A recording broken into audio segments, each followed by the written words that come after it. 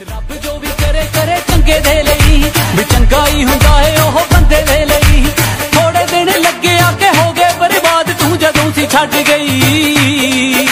ਹੋ ਸੱਚ ਜਾਣੀ ਆ ਗਿਆ ਸਵਾਦ ਸਾਨੂੰ ਤੇਥੋਂ ਸੋਹਣੀ ਹੋਇਆ